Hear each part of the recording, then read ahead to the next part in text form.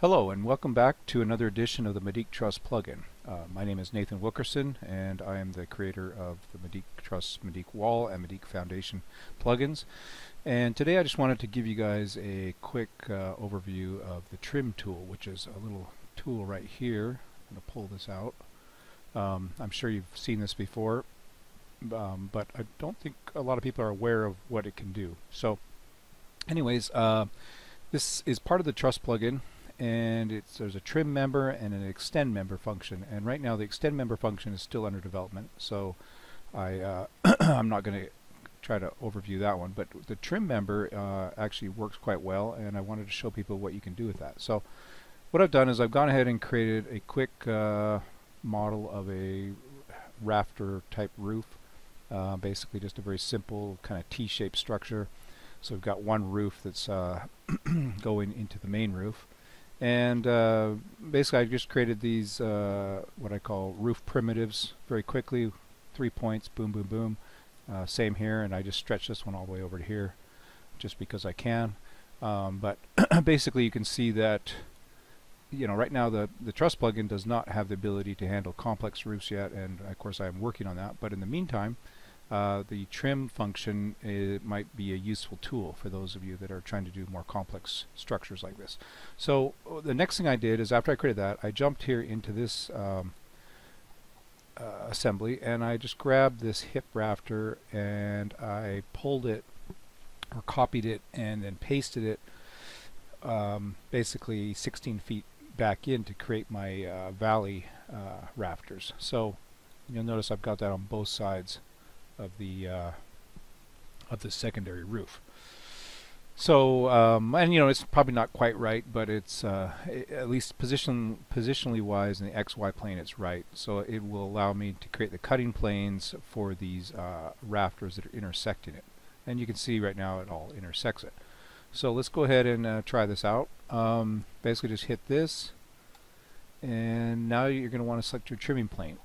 and you'll notice that it highlights in green as you mouse over any plane that you can select. So I'm going to go ahead and grab uh, this plane right here. And now that I've got that, I'm going to go ahead and select, and notice it stays highlighted, the plane that you're going to use your trimming plane. And then you just select an edge or a kind of a face of the member that you want to trim and on the trimming side that you want to get rid of. So you see that one disappeared.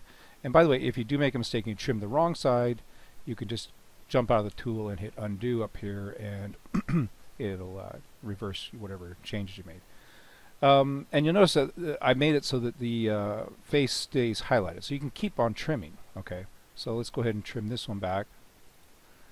And just go jump right on up here and trim that one.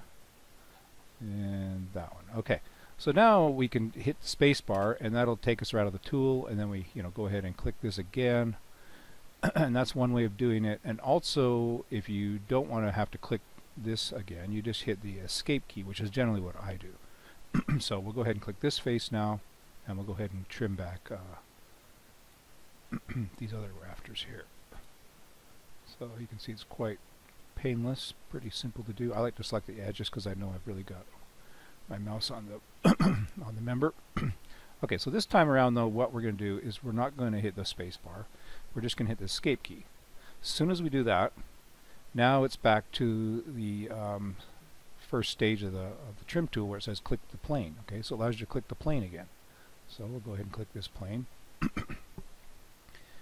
and we'll go ahead and trim these ones back here. Okay. And you can see that's pretty painless. Hit escape. And now we are going to select this face as the cutting face and we'll go ahead and trim these ones back. Okay, so, so there's not a lot of manual editing other than just selecting some members to trim. and now I'm going to go ahead and select this face and I'm going to trim this one back and I'm going to jump on the other side and trim this one back. Okay, now what I've done here, I'm going to uh, escape, escape again. What I've done is with this particular fascia board, subfascia, I've copied it and pay or copied it and then pasted it in place. So I actually have two copies sitting on top of each other right now. And the reason why I'm going to do that is because what I'm doing is I'm first going to cut one of them to this face here. Okay. And when I do that, you see that line there. What you're actually seeing there is, is two copies. So this copy has been cut. This copy is still projecting all the way through. But what we can do now is go over here and hit escape, select that face, and then now you see we've removed the piece that was in the center. So now we've got the subfascias running right up to where they should be. Okay, so there you go. That's pretty much it. Um, what I'm going to do though is here at this intersection, I think what I'm going to do is, um, let's see here. Let's go ahead and hit escape. Let's select this face and we'll cut the ridge board to that. And then we'll also cut this one to that. Okay, perfect. So now you can see that it all kind of lines up. right. And then of course these will go away. So let's go ahead and jump out of the trim tool now and see what we've got. Okay, so now we've got pretty much what we need. The only thing that I would do now is jump back into this uh, assembly and just go ahead and, and delete these unnecessary uh, common rafters as they're called and any other uh, and actually you know you could just you know do this sort of thing and, and delete them. You don't need them. That's already an assembly. Let's grab the rest. Yeah there we go. Got them all. Okay so I think let's see here.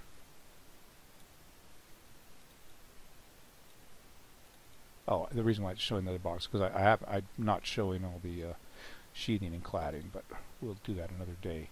Anyways, um, yeah, so that's pretty much it. I just now generated a complex rafter roof, uh, nicely trimmed out. Granted, uh, you know there is a couple issues here I got to work on. Also, the, the this valley rafter probably has a slightly different uh, layout with the uh, the bird's mouth cut that might need a little adjustment um, and also right here maybe done a little bit differently. But overall, um, the geometry is right. Uh, they're all trimmed back to the correct place, and the roof planes are all lining up like they should. So there you have it. In about five minutes, you can uh, you know generate a complex rafter roof simply by using some roof primitives and using this little trim tool right here, which you know is a pretty handy little thing.